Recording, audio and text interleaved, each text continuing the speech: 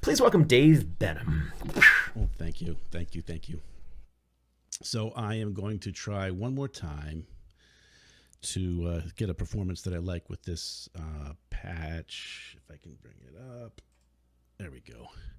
Uh, my fundamental constructs patch that's got uh, 14 different constructs. Each one represents what would normally be one module, but I, I took a bunch of VCV modules and implemented that functionality. So I've got uh, this is all in VCV rack, and I've got um, amplitude, a ring modulator, uh, three attack decay envelopes.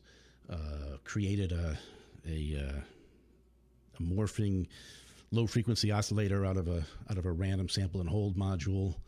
Um, some clock multipliers and some Bernoulli gates and a couple other things in there that I can't remember. But uh, I'll just go ahead and start going. I'll see how long this goes. I might just do the one piece. Um, and off I go. Darkness fell. Yes. And of course, now I'm blind.